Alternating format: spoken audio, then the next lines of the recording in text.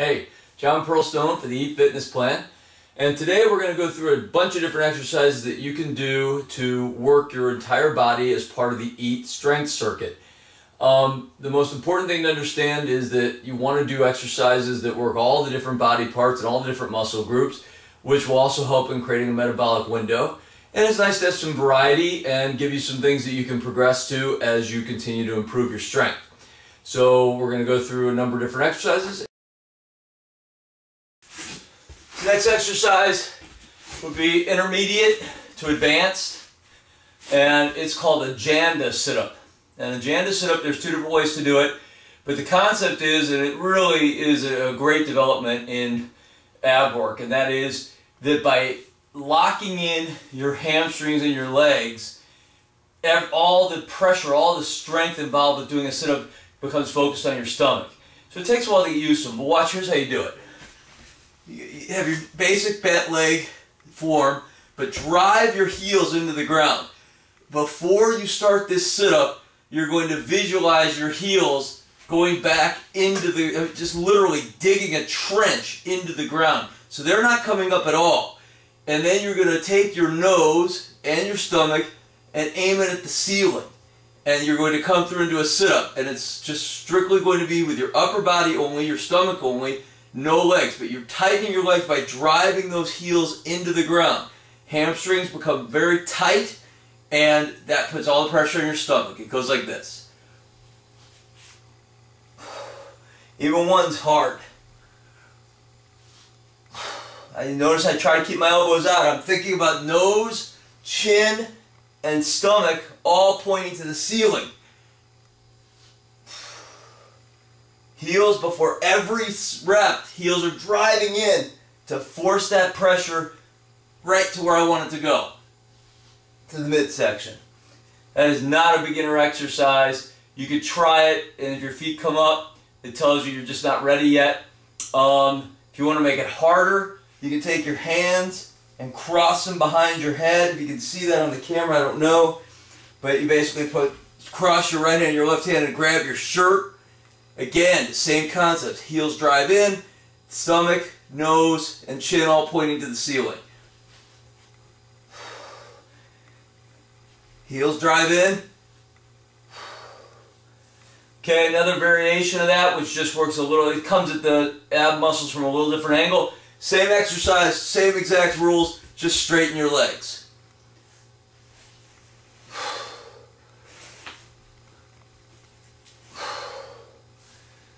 So that's when you want to work in to your strength workout as you become an intermediate and advanced level. And this exercise would be right in between, you know, a really good beginner and an intermediate level, and that would be what are called clams. And clams are really nothing more than leg lifts, but bringing your upper body up at the same time. And that puts all the work into your midsection, which is where we want it to be in this exercise. So you're going to extend your hands straight back. You're going to have your feet fully extended, legs fully extended, and you're simply going to come up, make a V, and meet in the middle. My hands are coming a little more forward, that's fine. I know it's working because I feel it all right in there. You know, and you could do some sets where you focus on bringing the legs a little higher and the arms a little shorter. A couple sets you can bring the legs lower and the hands further forward. In either case, you want to feel the, the work all going right in your midsection. You don't want to throw your arms or rock your legs up. And that is a great exercise to build in your strength circuit. That's the clam. Once again, it would be for a beginner who's pretty far along or somebody who's at the intermediate level, and that's oblique sit-ups. Oblique sit-ups, you're going to turn on your side, and of course they're working this section. Turn your side, hand behind your head just for support. I'm sorry, wrong hand. Hand, this hand behind the head for support. And then put your other hand right on your obliques so you can feel the work going on here. It really makes a difference. You're going to bring your feet, hopefully you can see this. You're bring your feet up off the ground. Your thigh, your lower thigh is still on the ground. Everything else is up in the air. And you're literally going to touch your elbow to the outer part of your foot. You're not actually going to be able to reach that but that's what you're aiming for. So you're going to come up, up, up, up. That'd be a set of five there. You're then going to roll over, get the same position, feet up, hands here, other hand on the obliques. You're making sure if you do a rep, you don't feel it squeezing, you'll adjust it for the next rep.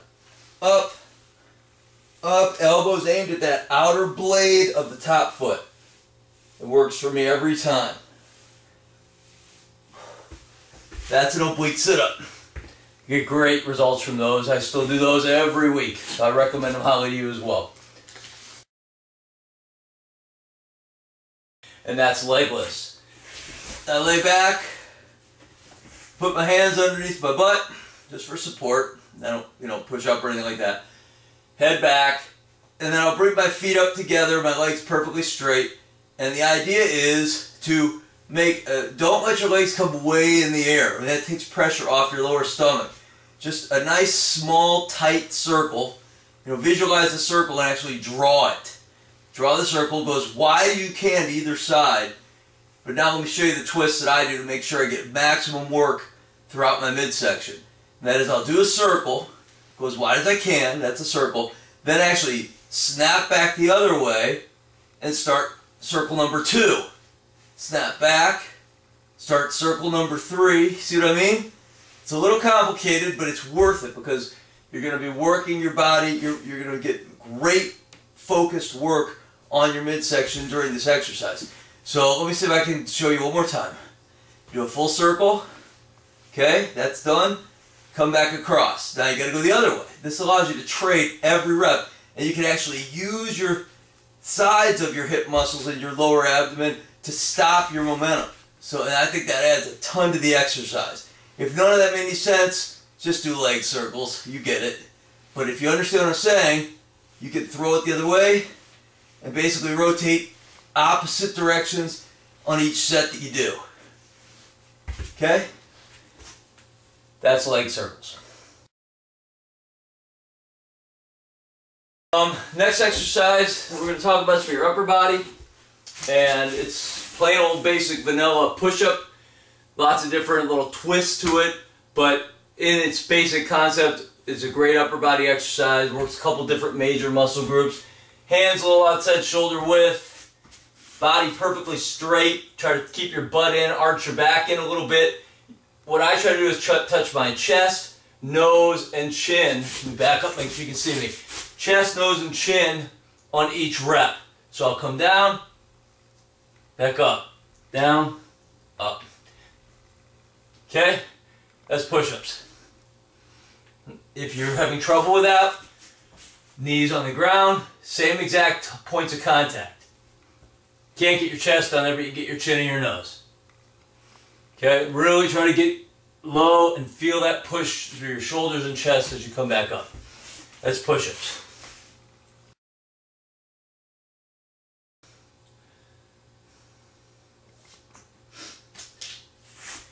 Next exercise is another variation of push-ups that you can try that is more of an intermediate level. Extremely challenging to do a lot of reps of them but it works so many different body groups, you're going to love it. It's called the dive bomber push-up. Here, you're going to get in a push-up position, arms a little wider, feet a little wider, and butt in the air. And you're going to dive bomb down by taking your chest as close to the ground as you can and scooping it forward. Okay, then you can arch your back coming up, so it's a full range of motion. Now, focus on your core, your middle of your stomach, and use that to pull you back by dive bombing down to the original position.